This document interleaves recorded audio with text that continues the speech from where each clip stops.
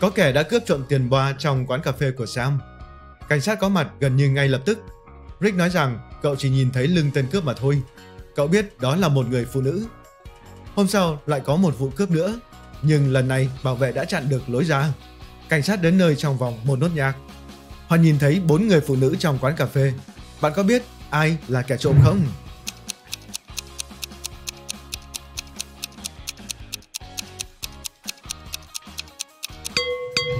Chính là Pam.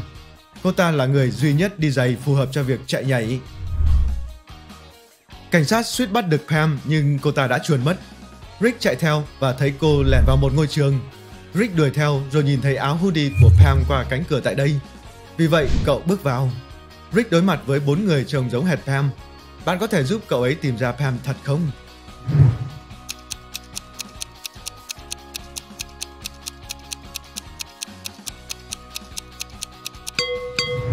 Cô ta đây rồi, trên bàn của cô ta không có sách và bút. Hai tháng sau, Sam đưa cho Rick một thư đề xuất có nội dung rất tích cực và Rick đã nộp đơn vào trường dạy nấu ăn. Bây giờ, cậu ấy phải thực hiện một vài bài thi. Nhiệm vụ hiện tại của Rick là nấu một món súp thật ngon. Có ba cô gái xinh đẹp đang cùng làm bài thi này với cậu. Cậu có cảm tình với cả ba cô, nhưng chỉ một cô là đáng tin cậy mà thôi. Bạn có biết đó là ai không?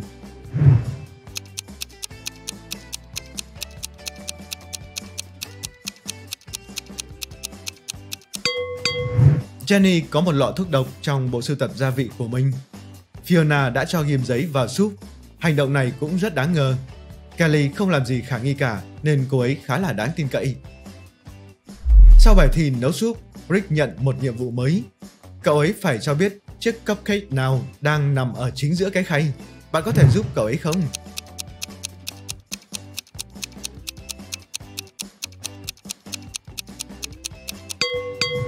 Là chiếc màu hồng.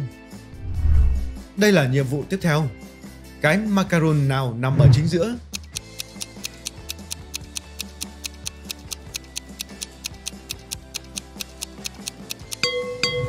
Cái màu tím, tình đấy. Còn cái khay này thì sao? Bạn có biết cái bánh quy nào nằm ở chính giữa không?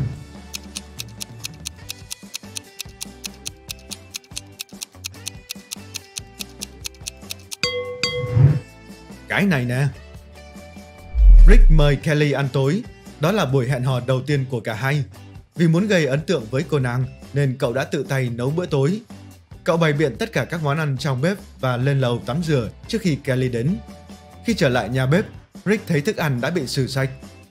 Cậu đã chất vấn ba người đáng nghi nhất. Ruth nói, Chị đang ăn kiêng, chị không ăn gì sau 5 giờ chiều hết. Bố của Rick nói, Bố đã ở bên ngoài cả buổi tối để quét dọn lá khô trên mái nhà. Còn anh trai của Rick thì khẳng định anh tập gym cả ngày mà. Mai anh tham dự cuộc thi marathon đấy. Ai đang nói dối?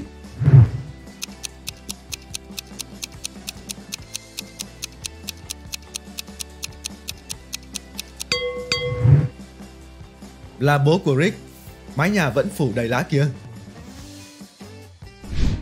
Kelly rủ Rick đi dã ngoại trong công viên Họ tìm thấy ba địa điểm rất ấm cúng, nhưng chỉ một trong số đó là an toàn. Bạn có biết đó là chỗ nào không?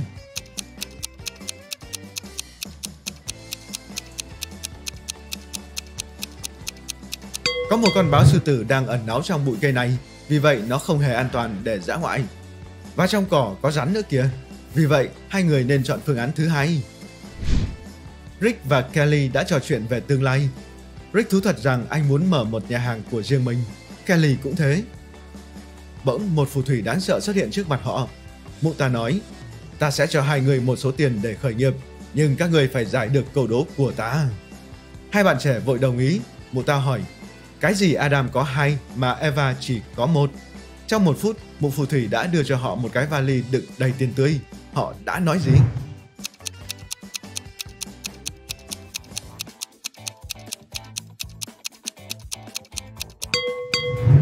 Câu trả lời đúng là chữ cái A. Rick và Kelly chạy về nhà, nhưng lại bị lạc trong công viên. Họ loanh quanh nhiều giờ liền và kiệt sức. Mãi họ mới tìm thấy cánh cổng. Nhưng bảo vệ của công viên đã khóa cổng vì lúc ấy muộn lắm rồi. Cổng có một ổ khóa số với 9 nút nhiều màu. Bạn có thể giúp đôi bạn trẻ giải ra mật mã không?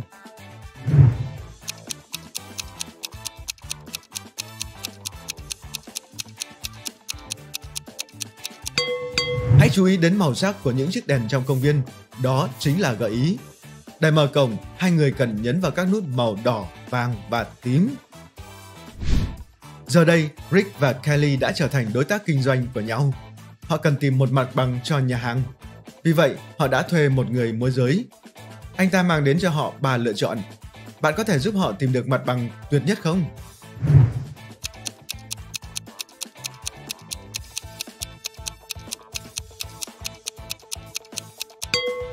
Địa điểm thứ hai nằm cạnh một nhà máy đang nhả khói vào không khí.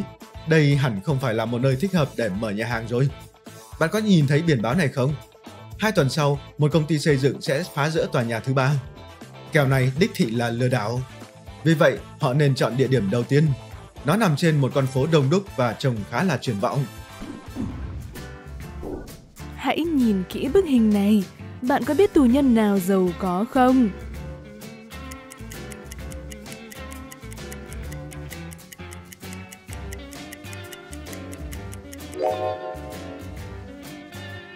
Người đầu tiên đang may gì đó, chắc hẳn cô ta là thợ may nên có lẽ sẽ không giàu có lắm. Người thứ hai có một số đồ trang sức, nhưng ở trong tù những sợi dây chuyền vàng này không có ý nghĩa gì mấy. Người thứ ba đang yên lặng đọc sách và không gây rắc rối gì. Đó là biểu hiện của một người giàu có. Họ thường không muốn thu hút sự chú ý, nhất là khi ở trong tù. Mới tháng 11 mà Jasmine bị điểm kém ở trường rồi. Vì vậy, mẹ của em là Lawrence đã cấm túc em cho đến khi điểm số của em được cải thiện. Lawrence làm việc ca đêm và phải đi làm. Một ngày nọ, khi trở về nhà, Lawrence phát hiện Jasmine đã lẻn ra ngoài vào ban đêm để đi dự tiệc. Làm sao Lawrence biết được?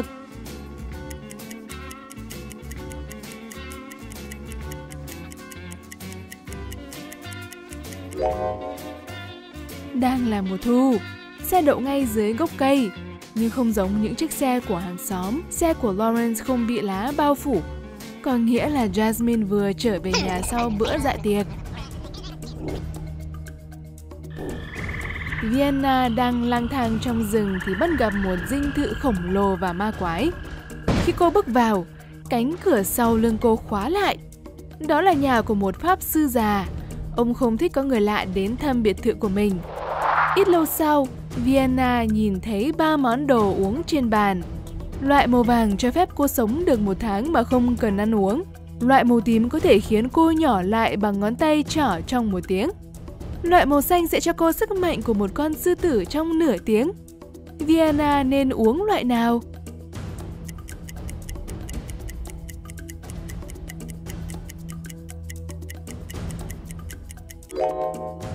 Đồ uống màu tím cô sẽ trở nên nhỏ bé và sẽ có thể trốn thoát qua cánh cửa nhỏ dành cho mèo. Esme đang đi bộ trong rừng nhưng chẳng may bị lạc.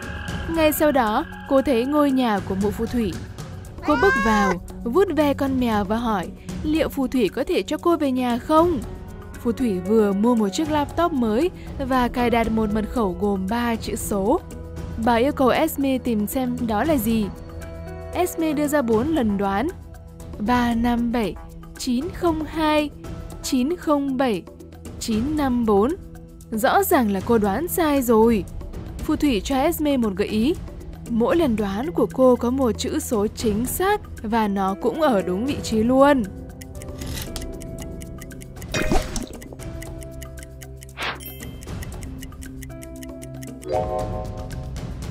Chữ số đầu tiên không được là 9, vì như vậy sẽ có 3 lần đúng. Tiếp theo, chữ số thứ hai và thứ ba không được là 5 và 7. Vì vậy, chữ số thứ hai phải là 0 và chữ số thứ ba là 4. Có nghĩa mật mã là 304. Sailor và Evie là bạn thân, họ muốn trải qua kỳ nghỉ đông cùng nhau. Thật không may, bà của Sailor bị ốm và cô phải đến một thành phố khác để ở với bà. Evie đang nhớ bạn. Một lần cô đi ngang qua ngôi nhà trống trải của bạn. Nhưng rất nhanh, cô nhận ra Sailor đã nói dối về chuyện bà bị ốm. Và thực ra cô ấy đang ở nhà. Làm sao Evie biết được?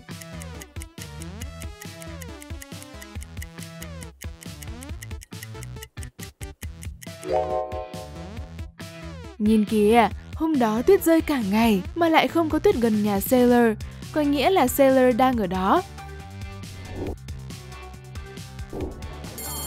Rivera là một giáo viên dạy toán và đang chấm điểm bài tập về nhà của học sinh. Giữa chừng, cô thấy hai tờ bài tập giống nhau. Cô nhận ra một học sinh đã chép bài tập của một học sinh khác vì các lỗi sai đều giống nhau. Tờ bên phải của McKenna và tờ bên trái của Maeve, bạn có biết ai đã chép bài tập của người kia không?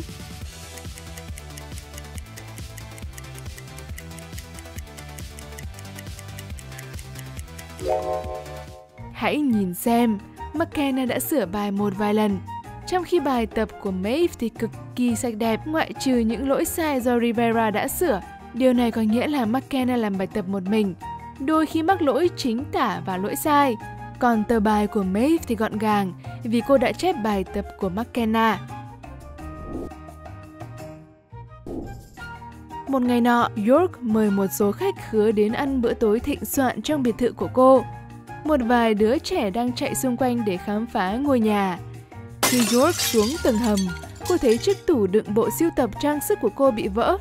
Một cô bé tên Hannah thừa nhận rằng cô đã ném một quả bóng chày và nó vô tình trúng tủ trưng bày.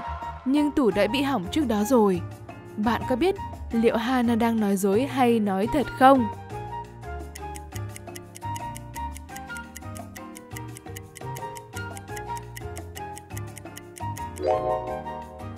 Vết nứt do quả bóng chày gây ra ở bên phải. Nếu đây là thứ đầu tiên làm nứt kính, thì các vết nứt sẽ kéo dài đến tận khung của tủ trưng bày. Nhưng chúng chỉ chạm tới những vết nứt khác, có nghĩa là quả bóng chảy thực ra là nguyên nhân thứ hai. Vì vậy Hannah đã nói thật. Nào, hãy thử giải câu này nhé. Ba người đàn ông đang ngồi quanh bàn uống cà phê. Trông họ giống hệt nhau, nhưng chỉ có hai người trong số họ là anh em. Người thứ ba thì chẳng có liên quan gì vì anh ta là người ngoài hành tinh. Đó là ai?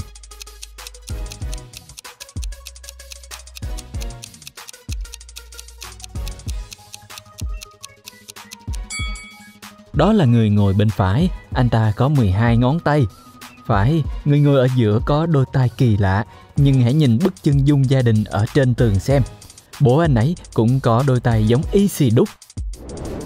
Gabriel là người bán hàng trong một cửa hàng bách hóa. Hiện giờ có ba người trong phòng thử đồ. Đó là Jessica, người phụ nữ mặc váy xanh lá, Sin, người đàn ông mặc áo khoác da và quần bó, và Alex, người đàn ông đang thử một chiếc quần jean cỡ lớn hơn mà Gabriel vừa mang tới cho anh ấy. Một trong ba khách hàng này là người ngoài hành tinh. Hãy giúp Gabriel tìm ra ai là người ngoài hành tinh.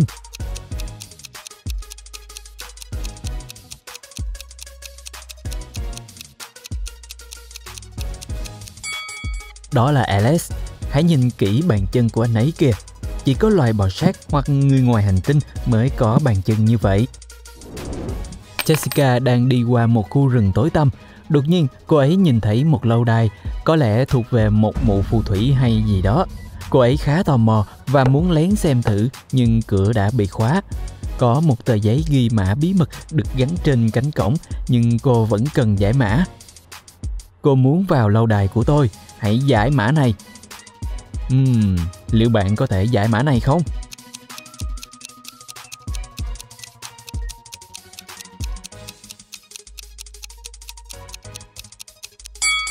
Câu trả lời là which, phù thủy.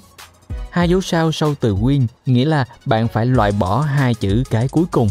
Tương tự với t. Với từ chair, bạn cần cắt đi ba chữ cái cuối cùng. Thấy chưa? Eric đi tới siêu thị, lấy hai quả cam và một quả dưa hấu. Tổng cộng anh mất 6 đô. Helen cũng tới siêu thị đó. Cô ấy lấy một quả chanh, một quả cam và một quả dưa hấu. Cô đã trả 8 đô cam, chanh, dưa hấu có giá khác nhau. Loại hoa quả nào đắt hơn? Cam hay chanh?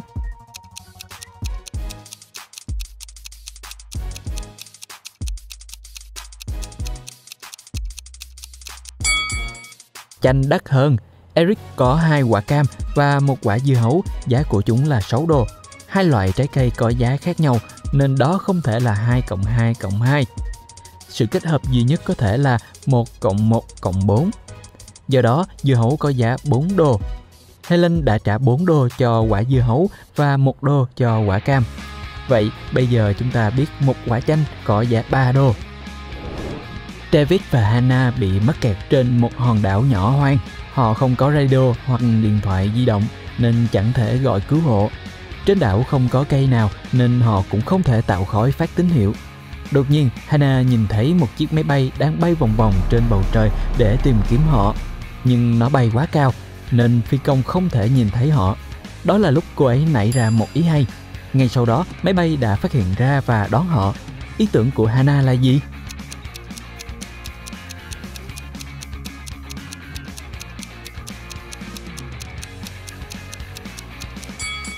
Cô ấy đã dùng đá để xếp chữ SOS trên cát. Ba con rùa đang đi nối đuôi nhau. Con đầu tiên nói, có hai bạn rùa phía sau tôi. Con thứ hai nói, có một bạn rùa phía sau tôi và một bạn khác ở ngay trước tôi. Con thứ ba bảo, có hai bạn rùa trước mặt tôi và một bạn nữa ở ngay sau tôi. Chà, tại sao lại thế được nhỉ?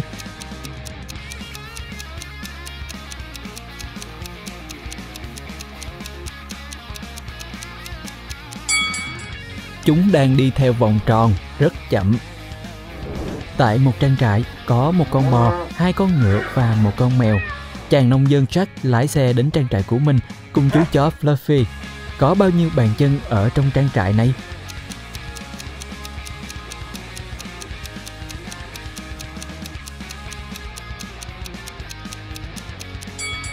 Chỉ có hai bàn chân, bò và ngựa có móng guốc mèo và chó có bàn chân nhưng cũng có móng vuốt. Chỉ Jack là có bàn chân như trong câu hỏi. Bạn bị mắc kẹt trong một lâu đài có kiến trúc phong cách trung cổ, cách xa nền văn minh. Chà, kỳ nghỉ của bạn không diễn ra theo kế hoạch. Bạn không thể nhảy ra ngoài cửa sổ vì nó quá cao so với mặt đất. Cái cây duy nhất gần cửa sổ trông không đủ cứng cáp để bạn trèo xuống. Tuy nhiên, có ba cánh cửa, một trong số đó có thể giải thoát cho bạn Phía sau cánh cửa đầu tiên là một ngọn lửa dữ dội, phía sau cánh cửa thứ hai là hàng trăm con rắn độc và phía sau cánh cửa thứ ba là một mê cung tối đen như mực. Ai biết được điều bất ngờ gì đang chờ bạn ở đó? Vậy bạn nên chọn cánh cửa nào?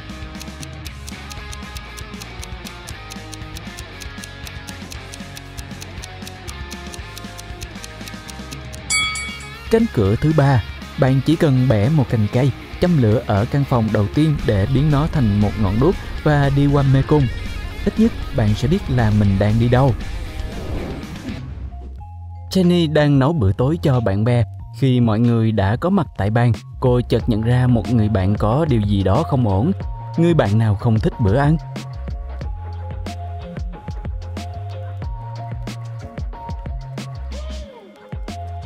Đó là Mike, anh đã lén chia thức ăn cho chó của Jenny. Mọi người đều biết rằng có một mụ phù thủy già sống trong ngôi nhà cổ ma quái này. Không ai muốn gặp bà ấy cả. Mary hiện đang ở trong ngôi nhà này, nhưng bà dường như chỉ có một mình. Sao lại thế?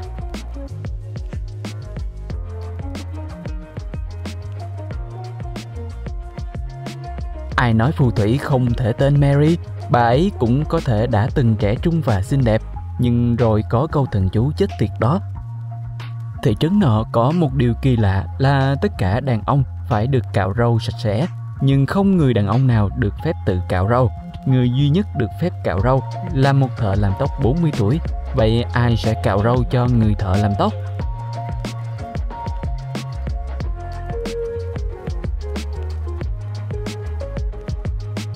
Không cần, vì thợ làm tóc là phụ nữ Hôm qua, Allison gặp một người lạ nhưng cô ngay lập tức biết anh ta là ai. Cô chưa từng gặp người này và chưa ai từng kể về anh ta với cô. Anh ta không phải là một người nổi tiếng và không làm bất cứ điều gì bất thường. Vậy làm sao Allison biết người đó là ai?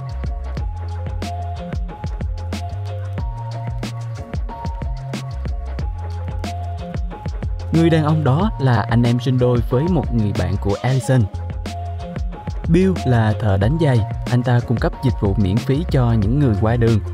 Tuy nhiên, những người đó cuối cùng vẫn muốn trả tiền cho anh. Sao lại thế?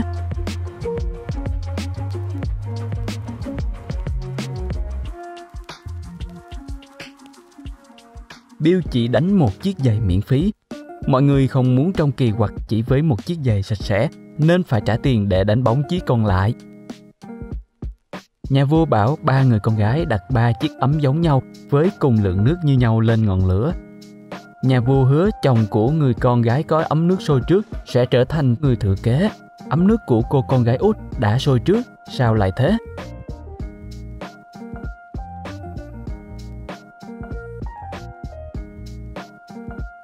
Trong khi hai cô con gái kia liên tục nhấc nắp ấm lên để xem trước đã sôi chưa, thì cô út vẫn luôn để nắp đậy.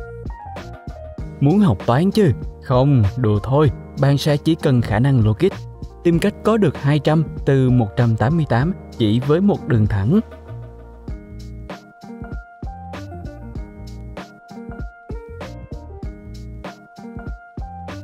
Để đường thẳng cắt ngang 188, bằng cách này bạn sẽ có được hai số 100. Một người 25 tuổi vào năm 2000 nhưng chỉ mới 20 tuổi vào năm 2005. Sao có thể thế được?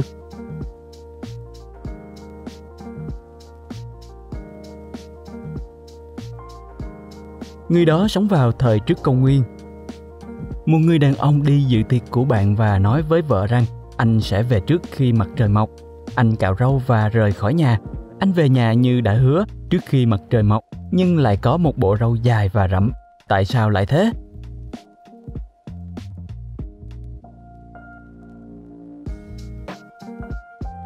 Người đàn ông và vợ sống ở một nơi có những đêm địa cực kéo dài đến vài tháng. Một người đàn ông đang lái xe từ New York đến Boston. Chỉ khi chuyến đi kết thúc, anh mới phát hiện ra một lớp xe của mình đã bị thủng ngay từ đầu. Tuy nhiên, anh vẫn đến nơi và chuyến hành trình không hề bị ảnh hưởng bởi sự cố này. Sao có thể thế được?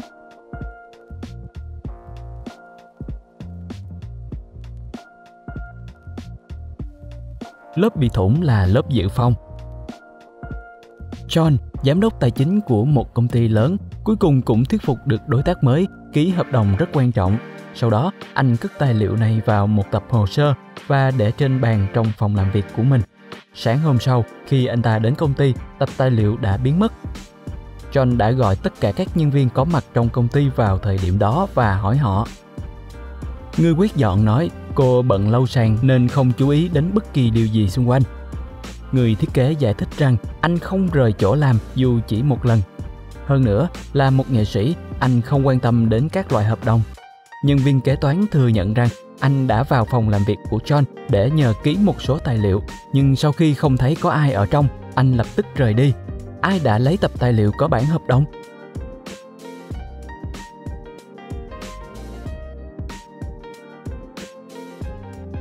Đó là người thiết kế. John chưa từng nói tập tài liệu nào đã bị mất. Làm sao người thiết kế biết tập tài liệu đó có hợp đồng bên trong? Eric chỉ mang tất đen hoặc trắng. Một buổi sáng, anh ta vội chuẩn bị cho một cuộc họp quan trọng với các đối tác mới thì đột nhiên mất điện. Anh có 10 chiếc tất trắng và 10 chiếc tất đen trong ngăn kéo, nhưng tất cả đều để lộn xộn.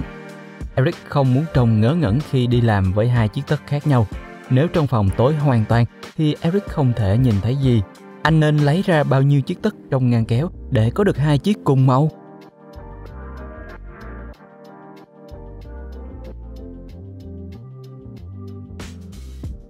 Ba chiếc là quá đủ. Trong ba chiếc tất, nhất định Eric sẽ có hai chiếc cùng màu. Mark và Ben đang đợi thang máy. Mark phải đi xuống tầng 1, còn Ben sẽ ăn tối ở tầng 10. Hai thang máy đến nơi cùng một lúc và cả hai đi vào hai thang máy khác nhau. Chà, một trong hai người không thật thông minh là ai vậy?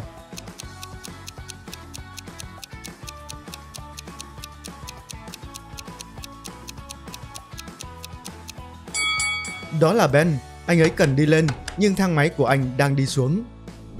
Bạn mở mắt và thấy mình đang ở trong ngục tối. Có một vài ngọn đuốc xung quanh để thắp sáng căn phòng bạn bước đến cánh cửa, cố gắng mở nó ra, nhưng tất nhiên nó đã bị khóa. Ở bên phải cánh cửa có ba nút bấm, một nút màu đỏ, một nút màu tím và một nút màu vàng.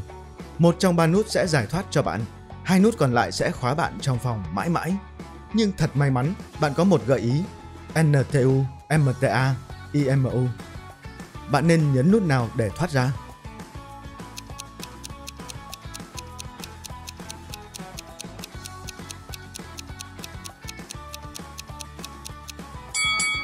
Nếu bạn xếp các chữ cái theo đúng thứ tự, bạn sẽ có dòng chữ nút màu tím. Vì chỉ có một nút sẽ mở cửa, hai nút còn lại sẽ nhốt bạn lại, nên bạn nên thử vận may với nút màu tím. Jessie là thám tử và là mẹ của ba đứa con. Một tối nọ, cô về nhà muộn và đi ngay vào bếp để chuẩn bị bữa tối. Trước mắt cô là một mớ lộn xộn, có vẻ như ai đó đã ăn tối. Một chiếc bánh sandwich mì ống sô-cô-la. Jessie không cho con mình ăn những thứ như thế. Vì vậy, cô lên lầu và kêu các con lại. Katie, Serena và Hannah đều đang bận làm bài tập. Tất cả đều phủ nhận việc ăn mì ống sô-cô-la. Nhưng Jessie vẫn biết đó là ai. Ai đang nói dối và làm sao Jessie biết được?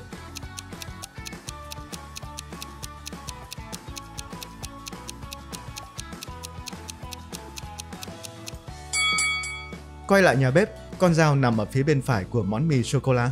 Điều này có nghĩa là người làm bánh sandwich là người thuận tay trái. Jessie chỉ có một đứa con thuận tay trái, đó là Hannah. Bạn bị lạc trong rừng và đã lang thang cả ngày. Cuối cùng vào lúc hoàng hôn, bạn thấy một ngôi nhà nhỏ ma quái trông như có phù thủy sống ở đó. Vì không có lựa chọn nào khác nên bạn đi vào và nhờ bà ấy chỉ bạn đường ra khỏi khu rừng đáng sợ. Phù thủy đồng ý, nhưng với một điều kiện, bạn phải chơi một trò chơi. Nếu bạn trả lời đúng, bà ấy sẽ để bạn đi.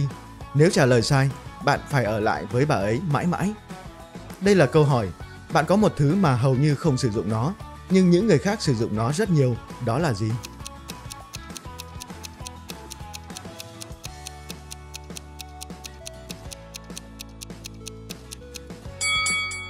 Đó là tên bạn. Bạn đang ở nước ngoài, tận hưởng ánh nắng mặt trời và kỳ nghỉ mà bạn đang rất cần. Một ngày nọ khi ở bãi biển, bạn gặp một cô gái xinh đẹp và ở bên cô ấy cả ngày. Vào buổi tối, bạn hỏi cô gái liệu ngày mai các bạn có thể gặp lại nhau không? Cô ấy mỉm cười và nói có. Nếu bạn có thể đoán được cô ấy đến từ đâu. Và vì cô ấy thực sự thích bạn nên đã cho bạn một gợi ý.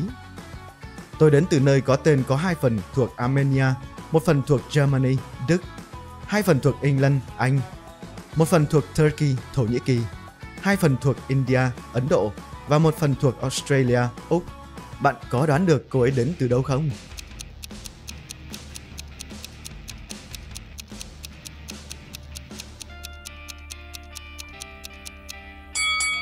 Hai phần thuộc Armenia nghĩa là bạn lại phải lấy hai chữ cái đầu tiên trong từ Armenia, đó là AR. Còn lại tương tự, một phần của Germany là G, hai phần của England là N, một phần của Turkey là T, in trong từ India và A trong từ Australia. Ghép lại bạn có từ Argentina. Nhiều thứ phải nghĩ nhỉ, nhưng cô ấy xứng đáng mà. Bạn đang lang thang trong một khu rừng khác và thấy một buổi dã ngoại. Họ đều là phù thủy. Bạn cố gắng trốn đi trước khi họ nhìn thấy, nhưng ờ uh, uh, họ muốn gì? Thật ra họ đang thư giãn và chỉ cần giúp đỡ một chút thôi. Họ có 8 người và một người đang kỷ niệm sinh nhật lần thứ 999. Họ đã có bánh sinh nhật nhưng có một rắc rối. À không, không phải là có quá nhiều nến và quá ít bánh đâu. Con dao phép thuật của họ chỉ có thể cắt 3 lần và họ không thể tìm ra cách cắt chiếc bánh thành 8. Bạn có tìm ra cách nào không?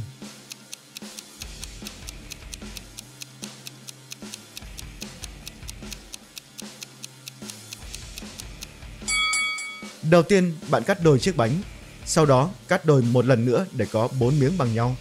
Tiếp theo, cắt ngang ngay giữa chiếc bánh để chia thành hai lớp. Bây giờ mọi người đều nhận được một phần bánh. Bạn có tìm được 6 trong các số này không?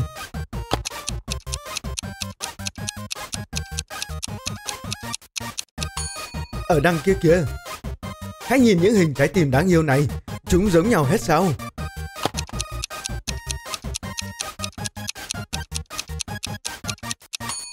Không hề, hình này khác. Nhìn từ trên xuống, món đồ chơi này trông như thế nào?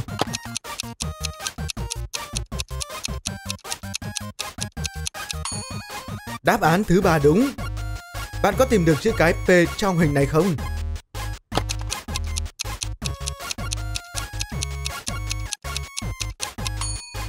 Ở đây. Hãy nhìn vào bức tranh trồng thơm ngon này. Hình nào khác các hình còn lại?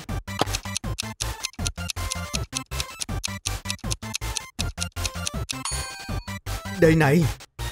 Hãy nhìn bức tranh này, bạn đếm được bao nhiêu hình tam giác?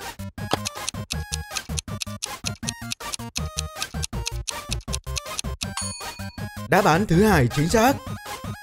Bạn nên chọn phương án nào để gấp máy bay giấy giống nhau?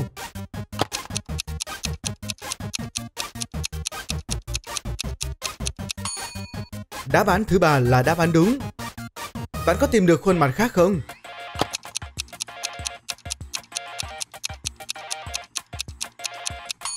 Anh chàng này trông không vui lắm nhỉ?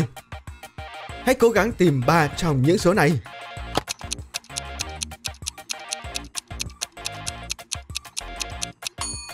Nó ẩn ở đây này.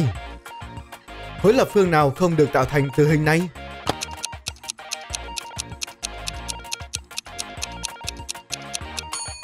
Khối đầu tiên. Khối lập phương này trông như thế nào khi nhìn từ trên?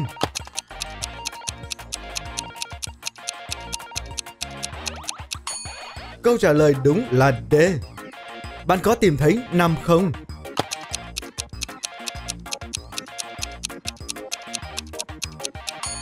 Nó ở đây. Câu tiếp theo. Bạn có tìm thấy G trong biểu mẫu này không?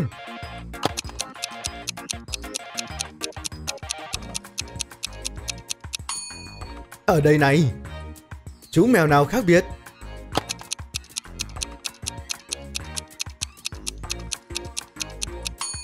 Chính là chú mèo ở đây. Tôi là khởi đầu của everything, kết thúc của time và space, bắt đầu của mọi end và end của mọi place. Tôi là gì?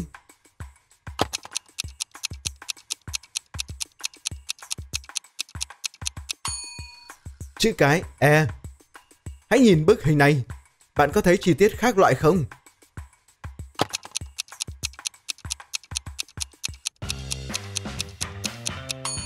Chính là ở đây. Chú kiến nào trong hình này cũng giống nhau sao?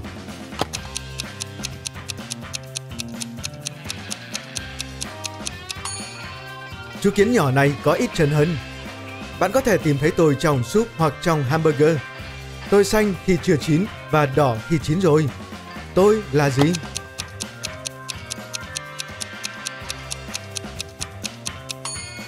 Câu trả lời là quả cà chua.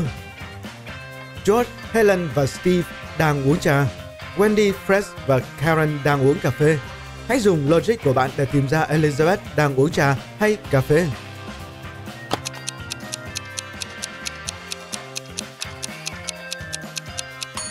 Elizabeth đang uống trà. Chữ cái E xuất hiện hai lần trong tên của cô ấy, cũng như trong tên của những người khác đang uống trà.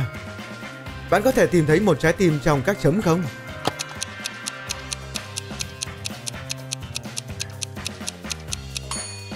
Nó đây rồi. Hình này khó đây. Bạn có tìm thấy một chú ngựa ở đây không?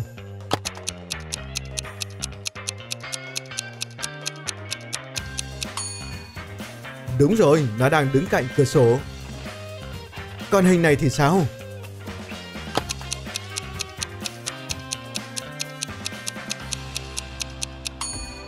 Ở đây này. Tôi là một nhạc cụ chỉ có thể nghe thấy, không bao giờ được chạm vào hay nhìn thấy. Tôi là gì?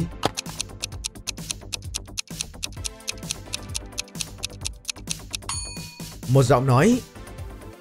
Bạn có thể tìm được biểu tượng cảm xúc khác loại không?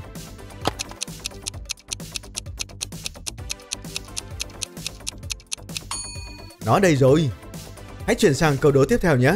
Bạn tìm thấy bao nhiêu món tráng miệng ở đây?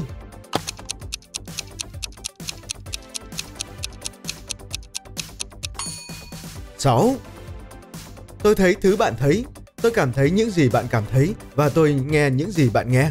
Tôi biết mọi động thái của bạn trước khi bạn thực hiện chúng. Tôi còn biết những động thái mà bạn đã không thực hiện. Tôi là gì?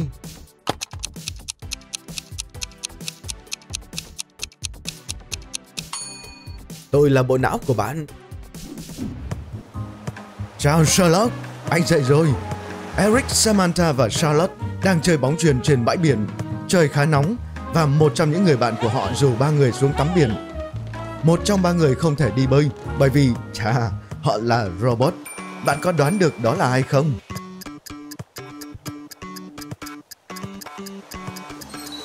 Đó là Samantha.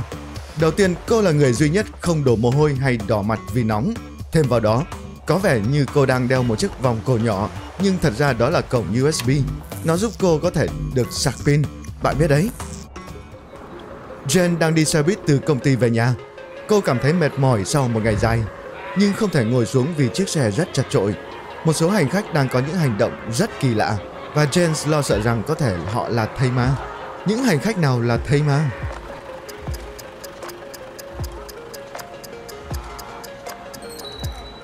Có hai thây ma trên xe buýt, đó là người đàn ông phía bên phải bị băng bó cánh tay và người phụ nữ ngồi gần cửa sổ đang rên rỉ.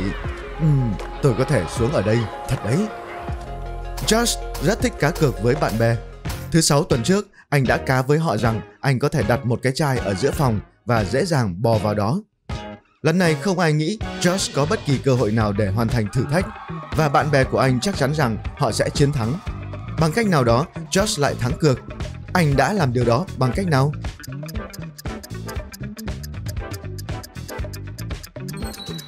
Josh nói rằng anh có thể đặt một cái chai trong phòng và bò vào đó. Nhưng anh không nói là sẽ bò vào cái chai hay vào phòng. Vì vậy, anh cứ việc bò vào phòng mà không gặp trở ngại gì và thắng cược. Ôi, Josh thật lão cá. Trên bàn có một hàng gồm 6 cái ly. ba cái ly đầu tiên trống, còn cái ly số 4, 5 và 6 thì đầy. Bạn cần thay đổi thứ tự để các ly trống và ly đầy nằm xen kẽ nhau. Nhưng bạn chỉ có thể chạm vào một ly và không thể đẩy hoặc di chuyển các ly với sự trợ giúp của những ly khác. Bạn sẽ làm cách nào?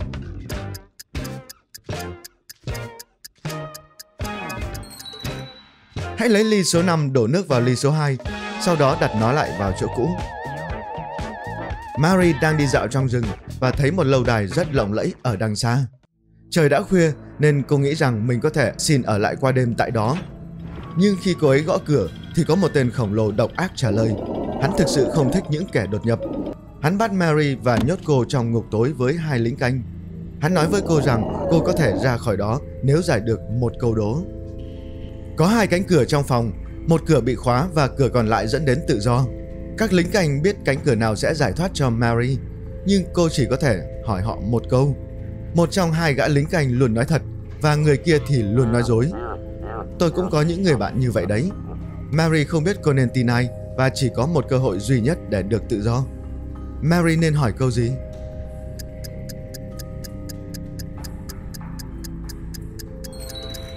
Nếu Mary hỏi, nếu tôi nhờ bạn của anh chỉ cho tôi đường ra ngoài, người đó sẽ chỉ cánh cửa nào? Bất kể tên bảo vệ nào trả lời, hắn cũng sẽ chỉ vào cánh cửa bị khóa. Một kẻ sẽ nói dối và chỉ vào cánh cửa sai, còn kẻ nói thật cũng sẽ chỉ vào cánh cửa sai, bởi vì nó sẽ được chọn bởi kẻ chuyên nói dối. Bằng cách này, Mary sẽ biết cửa nào sai và cô cần phải chọn cánh cửa còn lại. Bạn có hai sợi dây và một hộp diêm. Nếu bạn đốt cả hai đầu của một sợi dây, nó sẽ cháy trong vòng 30 phút. Làm cách nào bạn có thể dùng hai sợi dây này để đo 45 phút?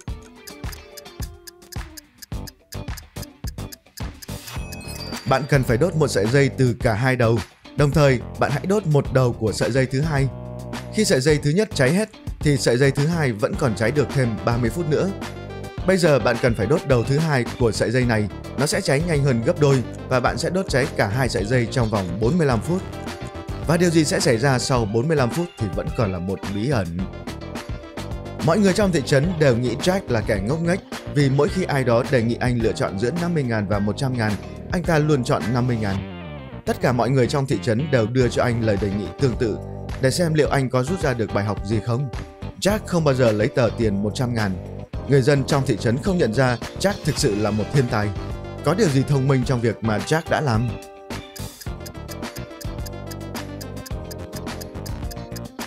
Jack thực sự rất thông minh vì anh ta khiến mọi người trong thị trấn đưa tiền tới tấp cho anh một cách miễn phí.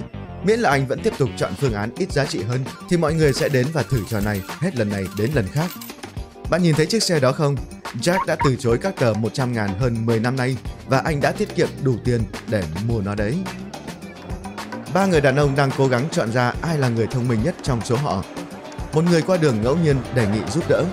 Người đó nói rằng anh ta sẽ cho họ một câu đố và ai giải được thì có thể xem mình là người thông minh nhất.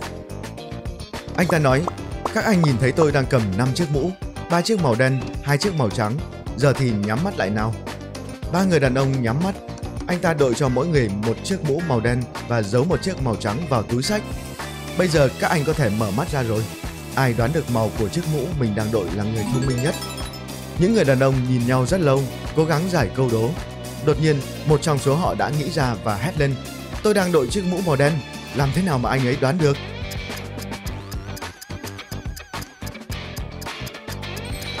À, thật ra anh ấy không đoán, mà cố gắng suy nghĩ một cách logic, nhưng không có câu trả lời hợp lý. Vì vậy anh đã nhìn vào hình ảnh phản chiếu của mình ở vũng nước gần đó